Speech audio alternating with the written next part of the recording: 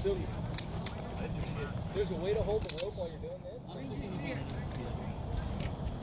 Hey, Luigi, How many more? forces. Luigi, That's come it. on, you Where's that guy?